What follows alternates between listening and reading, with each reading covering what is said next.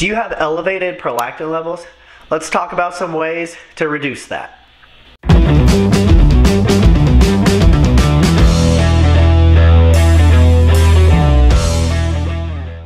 Welcome back to TRT Veteran. Before we get started, go ahead and hit that subscribe button. I'm not a doctor. This is just my experience and what I've learned through my own research. Elevated prolactin is something that women have after giving birth to produce milk.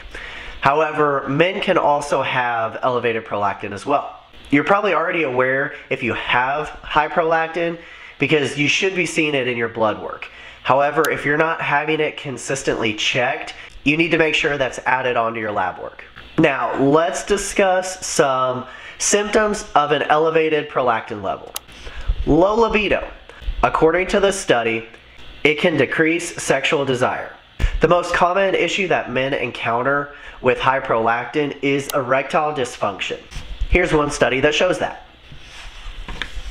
Now, what are some causes of elevated prolactin? Having sex within a few days of your lab work will result in your prolactin being high. If your prolactin is constantly high, you almost always have that feeling of never needing to have sex, which is that refractory period. If your prolactin level is too high, make sure you get it checked out by a doctor. Your doctor may want to do an MRI to check for a pituitary tumor. Pituitary tumors are well known to cause high prolactin. Hypothyroidism can cause prolactin. Here's a study that shows hypothyroidism can cause elevated prolactin. Or even some medications could be causing high prolactin. Many medications like antidepressants and antipsychotics can cause hyperlactin. Personally, my hyperlactin was caused by my testosterone treatment and using DECA. Now, what are some ways you can treat high prolactin? We're to break this up into the natural ways and the prescription ways. Uh, here are a couple studies that show that ashwagandha, ashwagandha, how do you say it? Ash, ashwagandha? Ashwagandha. There, take that. Uh, here's a couple studies that show the use of ashwagandha and vitamin E to help lower prolactin levels. Boom! There's another supplement called L-Dopa that is a precursor to dopamine that has studies that link it to help lower prolactin levels. Now, the supplement I used is known as P5P. It is a bioavailable form of vitamin B6. Studies show that P5P helps lower prolactin. When I was taking P5P, I was taking 300 milligrams a day and it did lower my prolactin a little bit. However, I was still at the high end of normal. So that is when my doctor started talking to me about cabergoline. So if you don't want to take those handful and handfuls of vitamins every single day, you could go that cabergoline route. Cabergoline is a prescription medication used to lower prolactin. Cabergoline is a dopamine agonist. It elevates your dopamine and reduces prolactin by telling your brain to stop releasing prolactin. It also reduces the refractory period with sex. So my doctor started me out on 0.5 milligrams twice a week. So I was taking one milligram of cabergoline a week. When I first started, I was having some pretty severe nausea and I even threw up a couple of times. However, a couple weeks after taking it, my body got used to it and I wasn't having those symptoms anymore. I was on that dose for a couple months until my next lab work.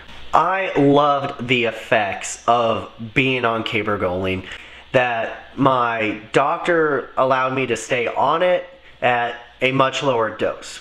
So some of the positive effects that I experienced was things like improved libido. My erectile function was significantly increased. My overall sexual satisfaction was amazing. Cabergoline is even known to decrease the sexual refractory period, which means you can go multiple rounds. Ding ding. Scientists have studied cabergoline up to a cumulative dose of 308 milligrams. According to these studies, none of the patients had abnormalities such as thickening, calcification, or restricted mobility of any cardiac valves. To put that in perspective, I take 0.25 milligrams a week. Adding that to the higher dose I started out on, it took me 23 years to reach that cumulative dose. I don't expect to stay on it that long. However, once I do stop, I'll still continue to check my labs. There's a lot of warnings that come with cabergoline. I find it hilarious that it says, talk to your doctor if you experience an increase in sex drive. That's kind of the point of this medication. It helps lower your prolactin so you can have a higher sex drive and have better performance. We've been seeing a lot of people in Facebook groups talking about having erectile dysfunction. And one of the most common questions is what is your prolactin level? At least half the people or more don't know what their prolactin level was, and it's not even getting tested by their doctors. If you're not having your prolactin checked, you need to make sure that test is added on to your next labs. If you need a doctor that's well versed in these issues and can get you back on the right track, make sure you check out Matrix Hormones. That's who my wife and I go through. Use that discount code TRT Veteran to help save you money on your treatment. If you haven't already, go ahead and hit that subscribe button down below and then jump on over to Facebook and join our TRT Veteran Facebook page. I'll see you guys in the next video.